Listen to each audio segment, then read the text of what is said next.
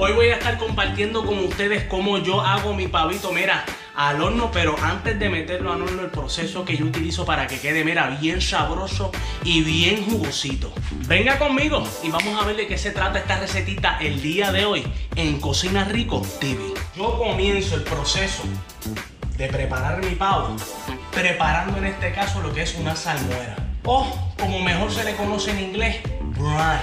En este caso la salmuera es una mezcla de agua, sal, azúcar, algunas hierbas y especias que le van a dar, le van a dar ese sabor delicioso y esa jugosidad a su carne, a su pavo en este caso, a otro nivel, a lo cocina rico. Bueno, vamos a preparar nuestra salmuera. Como les dije, vamos a estar utilizando sal. En este caso vamos a estar utilizando una taza y media de salt kosher. Y vamos a utilizar mitad de lo que se usa en la sal en azúcar. En este caso yo estoy utilizando azúcar moreno. Usted puede utilizar azúcar blanca si usted desea. Una mezclita aquí. Una mezclita, una mezclita. A esto luego usted le va a añadir agua hasta que por lo menos podamos diluir porque esta agua la vamos a utilizar completamente al final. Preferiblemente utilice agua destilada. Si usted tiene un equipo de destilar su agua en su casa, mejor. Si no, por favor, trate de no usar el agua de la pluma, porque si usted vive en Puerto Rico, usted sabe que el agua de la pluma no está saliendo muy deliciosa en estos últimos días. Vamos a comenzar en este caso también por añadir en este caso 5 dientes de ajo premachacados, o sea, no es, no es machacados completamente y a lo, que me refiero en este caso, para que usted machaque su ajo, simplemente, mira, le corta la puntita, le corta la puntita, le quita la cáscara y le da un cantacito. Esto es para que esto suelte, mira, esto suelte suficiente su sabor, ¿ok? Vamos a utilizar cáscara de china, en este caso chinas Nevo. Vamos a utilizar salvia. Y antes de que usted eche su salvia, déle, su, mira, un apretoncito para que esto suelte para que esto suelte ese, aroma, ese, esa delicia. Vamos a utilizar en este caso tomillo. Y vamos a utilizar romero también. Y no se nos puede olvidar, vamos a utilizar una china nevo. Vamos a utilizar el jugo de la china, en este caso. Es bien importante, esta china no la bote, porque esto lo vamos a utilizar en el resto de la mezcla de nuestra salmuera, que ya mismo le voy a enseñar. Esto ahora, mira, usted le va a dar su mezcladita, le va a echar un poquito más de agua y lo va a poner el hervir. Una vez terminemos de hervir esto, más o menos unos 5 minutos, usted va a dejar que esto enfríe antes de echárselo por encima y sumergir su pavo dentro de esta mezcla. Ya mismo le voy a enseñar dónde vamos a sumergir el pavo. Síganme lo bueno. Entonces, ahora mientras usted, mira, está hirviendo, lo que es su salmuera. ¿Ok? Vamos a ir preparando el recipiente donde vamos a echar esto una vez esto enfríe. Bien importante, yo voy a utilizar en este caso lo que es un balde, pero este balde yo lo compré en, en, Home Depot, yo creo que usted lo puede conseguir en cualquier lugar y es Food Grade Container, safe for use with food, o sea, esto es seguro para utilizar con comida. No vaya a utilizar, por favor, el cubo de mapear que eso no es para eso. Por más que usted lo lave, lo desinfecte, por favor no use el cubo de madera. Ya una vez su salmuera esté suficientemente tibia o fría en este caso, vamos a comenzar a echar esto con nuestro pavo en nuestro cubo. como les dije, tenemos que asegurarnos de que nuestro cubo esté suficientemente limpio para hacer un pañito con agua, una servilleta con agua, lo más limpio que sea. Y vamos a comenzar a colocar nuestro pavote que ya está lavado, ya no tiene ninguna de las bolsitas que traen las cositas por dentro. Ok. Vamos a colocarlo con las patas hacia arriba en este caso.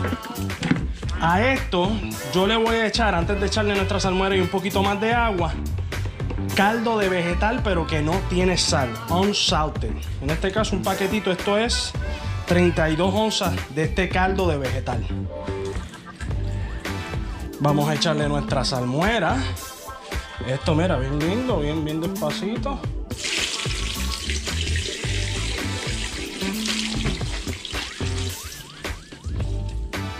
Importante, si quiere métale dos o tres hierbitas por las cavidades aquí. Como yo le dije, yo tengo todavía medio galón y otro galón más de agua que vamos a echar porque esto tiene que quedar completamente cubierto. Vamos a echarle más agua como lo había dicho.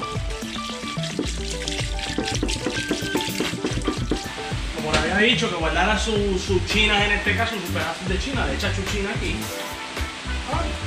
Y vamos a dejar que esta salmuera haga su trabajo. Pero, bien importante, si usted tiene una nevera lo suficientemente grande para que esto quepa en su nevera, pues perfecto. Si no, va a tener que utilizar entonces el otro método que hace que este proceso, pues, no, a no, no todo el mundo le guste porque es un poquito trabajoso. Y es en este caso colocarle hielo por encima de la salmuera. Esto es para mantenerlo frío porque esto va a estar, recuerde, como yo le dije, 24 horas en esta salmuera. Se va a colocar hielo suficiente por encima. Va a tapar su salmuera. Su salmuera bien. No se preocupe de bacterias, de que si esto se va a fermentar, si se va a pudrir ni nada esto es salmuera. Esto, la sal, las bacterias detectan la sal, por eso es que se utiliza todavía, utilizaban antes en este caso, la sal para preservar las carnes. Vamos a colocar nuestro balde en este caso, en esta pequeña neverita que yo tengo aquí. Y vamos a llenarla. Ya una vez tenga su salmuera, con suficientemente hielo, le rodea de hielo. Si le quiere añadir más hielo por el ladito, lo puede hacer. Las gasolineras están abiertas 24 horas. Una vez haya hecho todo esto, yo les recomiendo que coloque su recipiente en un lugar oscuro, frío, que no le dé el sol ni haga mucho calor.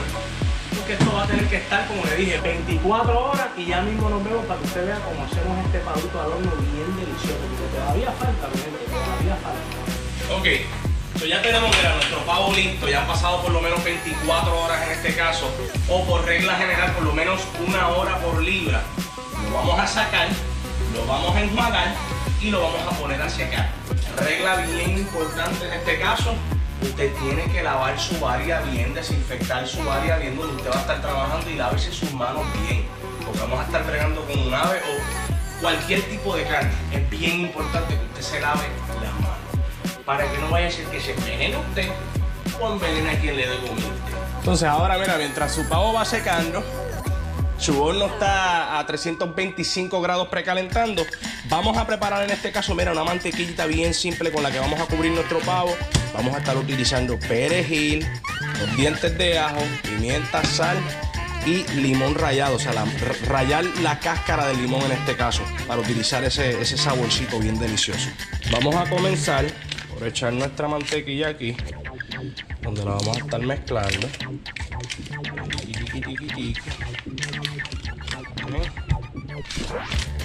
Vamos a cortar nuestro perejil lo más finito posible que usted pueda.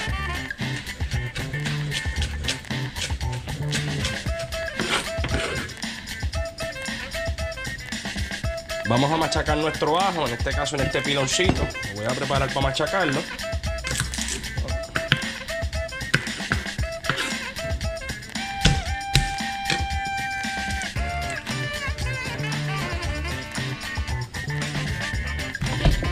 Vamos a machacar bastante nuestro ajo que quede lo más machacado posible.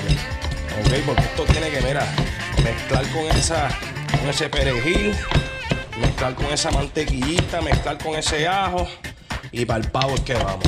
Mira, ahora cogemos nuestro ajito, lo echamos aquí con nuestra mantequilla y nuestro perejil.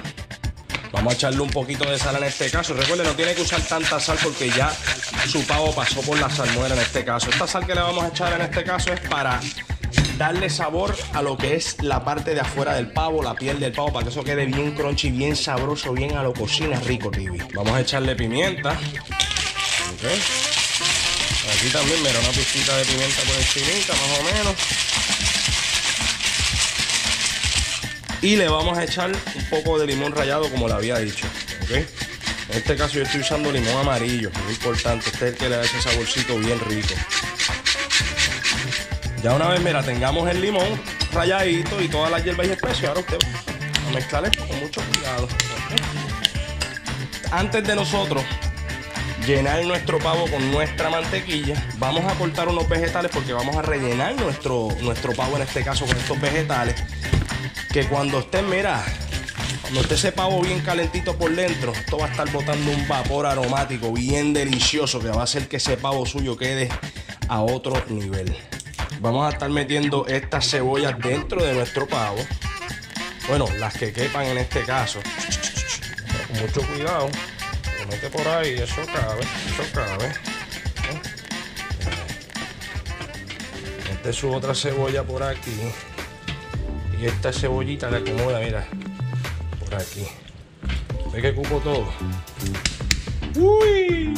Un detallito que en este caso yo utilizo es un poco de caldo de. Un caldo de res en este caso. Yo voy a llenar la parte de abajo de nuestro sartén, de nuestro molde donde vamos a estar teniendo nuestro pavo con ese, con ese caldo. Esto yo lo hago porque o sea, yo quiero utilizar todo lo que caiga dentro de ese molde, la grasita del pavo, todo eso usted lo quiere utilizar y no quiere que se queme y se seque allá abajo. O que en este caso, para evitar eso, le echamos ese caldo de res.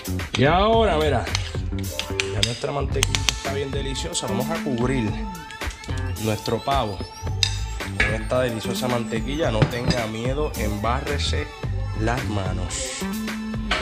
Entonces, mire, ya tenemos nuestro pavito empavonado con nuestra mantequilla deliciosa. Asegúrese en este caso poner su pavo completo. Si quiere meterle un poquito de mantequilla por debajo de la piel, perfecto. Y antes de que usted ponga este pavo en el horno, échele un poquito de aceite, sea de oliva o el aceite que usted tenga por encima. ¿Qué va a hacer el aceite? El aceite va a evitar que su mantequilla se queme en este caso. Un poquitito nada más. Y esto va a quedar a lo cocina rico, TV. Ahora nos vamos a ver, vamos para la parte más bajita del horno, por lo menos unas 5 pulgadas de lo que es la parte de abajo de su horno. Y mire, usted va a dejar esto 13 minutos aproximadamente por libra. Son más o menos para este pavo como unas 3 horas, 3 horas y media. Vamos a estar usando un termómetro como sea, que el termómetro se supone que esté marcado aproximadamente en algunas partes 165 grados. Y eso significa que ya su pavo quedó, mira, totalmente cocido a lo cocina rico TV. Ya una vez más o menos su pollo lleve como unas 2 horas, una hora y 40 minutos en el horno, más o menos. Usted lo va a sacar. Mucho cuidado, mire qué belleza este pavito. Este pavito está quedando, pero extra bello. Y va a echarle de su juguito por encima es lo que en, inglés le dicen basting. ¿okay? Y esto lo puede hacer por lo menos, más o menos, no sé, cada hora. Lo chequea, chequea su pavito y le echa su juguito. Otra cosita que a mí me gusta hacer es, mira, ponerle bacon encima a mi pavito para que esto dripee esa grasita por encima y le dé otro saborcito extra, otro toquecito, mira, extra a su pavo, a lo cocina rico, tío. ¡Qué belleza está quedando este pavito y todavía no es ni acción de gracia! Y ya una vez usted haya convertido a su pavito, mira, en una momia de bacon, usted vuelve y mira, a ese, a ese baconcito usted le va a echar de, ese, de esa salsita, esa grasita que está aquí abajo. Y ya una vez hayamos terminado con ese proceso, mira, volvemos para el y lo dejamos cocinar el resto del tiempo que le falta, que son más o menos unas dos horas en este caso. Escuche, escuche eso, escuche eso, escuche ese sonidito mágico que está sonando ahí. Eso significa que nuestro pavo ha completado su misión de cocinarse a la perfección. Mire esta belleza. Pero mira, mira, mira, mira esto. Mira, mira qué colorcito más bello ha cogido ese pavito. El sabor de esto es fenomenal, pero bien importante, usted se tiene que asegurar en este caso que su pavo esté completamente cocido. Yo me estoy dejando llevar por la regla general que dice la FDA de que tiene que estar a 165 grados Fahrenheit en estos dos lugares que vamos entonces a estar haciendo esta, este experimento. Aquí es uno de los lugares. Tiene que meter su termómetro lo más dentro posible en lo que es el muslo. Y mire, por aquí, por la esquinita de nuestra alita. ¿Ok? Como pueden ver, ya eso está subiendo por ahí para arriba a lo loco. Este está casi, casi. Y este ya está casi, casi. También en 165. ¿Ok? Este ya pasó 165 y quiero chequear mi último lugar que va a ser la pechuga del pollo. Pop. Vamos a ver si se cae. Eso significa, mi gente, que ya su pavito está hecho. ¿Ok? Una vez su pavo haya llegado a 165 grados Fahrenheit, usted está verá good to go. Bueno, vamos, vamos a ver si es verdad. Mira, mira, yo cogí un cantito aquí. Le puse bacon, le puse un poquito de, del pellejito, porque